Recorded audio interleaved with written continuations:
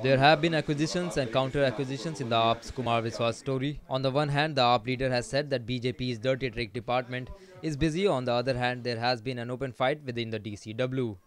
A roundup of the day's development in today's NNIS story of the day. BJP made it clear that it will not allow the latest controversy surrounding the Aam Aadmi party to pass. This even as AAP leader Kumar Viswas accused BJP of character assassination. अगर हमारे बारे में कोई प्रश्न चिन्ह खड़ा हुआ है तो हमारी रिस्पॉन्सिबिलिटी है कि हम उसको पॉजिटिव तरीके से रिस्पॉन्ड करें।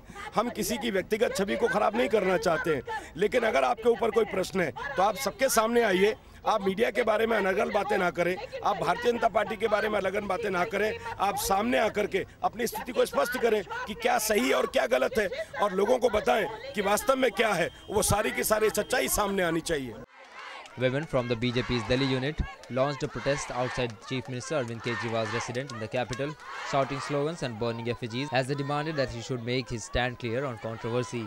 Viswas meanwhile said that he has got no notice from the DCW. नहीं मैं मीडिया से पूछना चाहता हूँ आपके घर में बहन बेटियाँ हैं या नहीं आप लड़कियाँ हैं कि नहीं आप महिलाएँ हैं आप कहीं भी अगर नहीं नहीं अगर आप किसी भी टाइटल को गलत तरीके से चलाएँगे आप उस पुरुष के पास जाइए जिसको अपनी पत्नी के करेक्टर सर्टिफिकेट के लिए किसी और का सहारा चाहिए।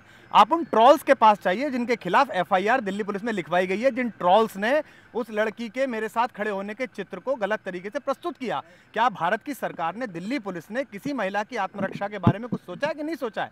एक महीना पहले उस बच्ची ने रिपोर्ट की है और वो ट्रॉल्स आज भी खुलेआम घूम रहे हैं। किसी का भी फ़ोटो पोस्ट करते हैं, चार आदमियों के फ़ोन नंबर सहित उसने रिपोर्ट लिखवाई है। दिल्ली पुलिस नहीं कर रही है, इसका मतलब क्या है? और भारतीय जनता पार्टी के प्रदेश प्रवक्ता ट्वीट कर रहे हैं तो अगर बीजेपी डर्टी माइंड डिपार्टमेंट ये सोचता है कि पहले वो किसी का फ़ोटो पोस्ट करेगा उसके बाद कोई उन्हें पकड़ेगा नहीं दिल्ली पुलिस नाकारा रहेगी और उसके बाद आप दिन भर खबर चलाएँगे तो आपको ना तो खबर मिल पाएगी ना उस लड़की को न्याय मिल पाएगा Viswas has openly alleged that rival parties, Congress and the BJP, are trying to malign him and his party. The commission meanwhile says that it has summoned Viswas and his wife to appear before it on the AAP volunteers' complaint. The woman alleges her reputation has been damaged and her husband abandoned her after rumors surfaced that she had an affair with Viswas while campaigning for him in Amethi, Uttar Pradesh for general elections. जहाँ तक सवाल है उस पीड़ित महिला का और कुमार विश्वास का ये दोनों ही बयान एक तरह के दे रहे हैं इसलिए मैं उस पर कोई टिप्पणी नहीं करना चाहता वो महिला अपनी अपने सम्मान को चाह रही है। वो कह रही है कि ये क्यों नहीं कह देते कि मेरा इनके साथ में कोई रिश्ता नहीं? मैं नहीं जानता कि आखिर कौन सी ऐसी बात है जिसके लिए नहीं कहा जा रहा। लेकिन अफसोस तो मुझे इस बात का हो रहा है कि केजरीवाल जो है, जिनकी कोई ये पीड़िता जो है, ये कोई बाहर की नहीं है, इनकी पार्टी की कार्यकर्ता है। मैं कल सुन रहा था, टेलीविज़न पर देख रहा था कि वो घंटों बैठी रही। एक महीने से लगातार वो जा रही है।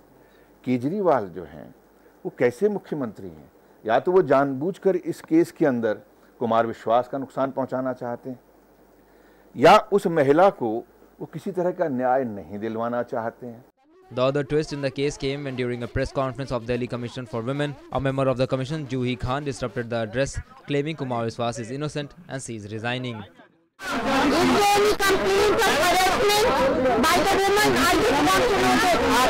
Is में क्या कहना चाह हैं.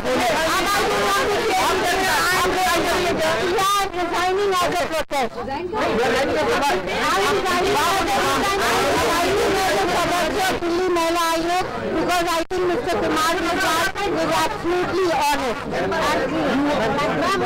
Powered by NNIS.